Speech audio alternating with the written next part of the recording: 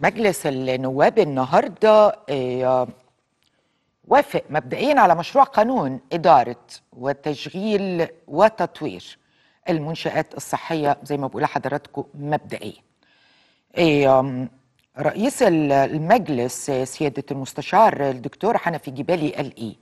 قال لا مساس أو انتقاص من الخدمات المقدمة للمواطن المصري توازن بين المصلحة العامة في جذب مستثمرين والخدمات المجانية والتأمين الصحي.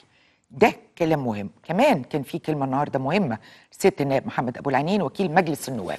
قال إن القانون اللي قدمته الحكومة أو إنه هذا القانون قال إنه فكرة للحكومة خارج الصندوق أثنى على هذا القانون.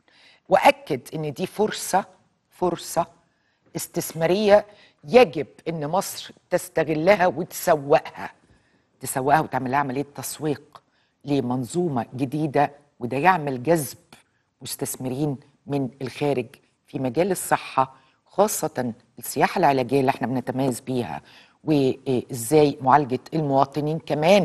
أنت بتتكلم على تصدير الفكرة أو الاستفادة من الأفارقة في هذا آه، آه، آم، الملف خصوصا إن أنت بتتمتع بالفك بالفعل كمصر في حاجات كتيرة جدا تقدر تستفيد منها. إن أنت تصدر ده تصدير لملف مهم فكرة إزاي إنك تحول ال- الصحة لصناعة وتصدير مهم. وأشار لدول كتيرة حوالينا ومصر مش أقل من أي دولة إنها تقدر تاخد هذه الخطوات. تعالوا نشوف التقرير كلمة سيادة النائب محمد أبو العنين ونعود ونتواصل مع حضرتك سيادة النائب محمد أبو العنين. شكرا سيادة الرئيس. الحقيقة أنا بحيي الحكومة على الفكر خارج الصندوق اللي اتقدمت بيه وبحيي اللجنة الموقرة على كل التعديلات اللي أتت في صلب القانون المعروض.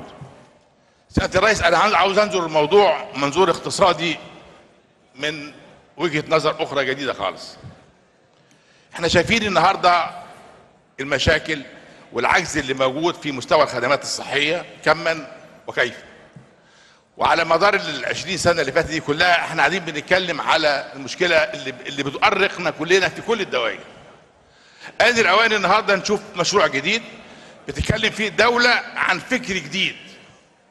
عشان مشروع بيتقدم النهارده وكلمة التزام أنا عاوز استخدمها كعنوان تسويقي جديد لتسويق المشروع. كلمة التزام أنا بخاطب بيه طبقة أخرى. أنا بخاطب بيه عقول مستثمر جيد. أنا بخاطب بيه اسم عالمي جديد متخصص في مجال الصحة. أنا عاوز أعمل مصر هب جديد لعلاج أفريقيا. عاوز أتكلم على مستوى جديد من الاستثمار اللي يجيني أسكنه في مصر بدل ما أشوف الجماعة الأفارقة اللي رايح هنا واللي رايح هنا واللي رايح هنا. عاوز أشوف الأفكار اللي بتحدث النهارده في بعض البلاد العربية المجاورة لاستقطاب الأسماء العالمية عنده يسكنها بمشروعات جديدة. أنا عايز أقول إن آن الأوان بالخبرة المصرية المتخصصة من الدكاترة والعلماء المصريين والامكانيات الموجوده بالتحفيز وحتى سيادة الرئيس اتكلم في مؤتمر وقال إحنا ما عندناش مانع ابدا إن إحنا نقدم مشروعات جديدة استثمارية جديدة نبني فيها المستشفيات ونبني فيها المعامل المتخصصة عندنا ويجي حد يدير. القضية هي قضية إدارة وقضية تكنولوجيا وقضية ذكاء اصطناعي جديد بيعالج من بعد وقضايا أخرى متعددة تعمل قيمة مضافة. ده موضوع يخص الصادرات.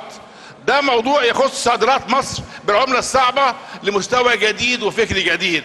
أنا أرجو القانون لوحده مش هيعمل ده لكن منظومة جديدة لخريطة استثمارية طبية جديدة ونستغل فرصة إن آه، الشهر القادم إن شاء الله في مؤتمر اقتصادي عالمي كبير هيحضروه جماعة بتوع الاتحاد الأوروبي كلهم.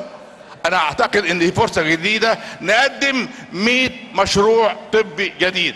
كاملين ومسكنين في الأماكن المختلفة في مصر وبالحوافز والضمانات اللي موجودة حوافز, حوافز تحفيزية جديدة. نقدر فيها نفعل القانون ونقدم فكر جديد للاقتصاد العالمي والمشروعات العالمية اللي ممكن إحنا نسكنها في مصر. أنا الحقيقة يا سياده الرئيس هو ده يعني باختصار اللي أنا عايز أقوله وعاوزين نجري ونسوق أنفسنا. كيف يمكن تسويق هذا المشروع؟ كيف يمكن إقناع المستثمر الأجنبي؟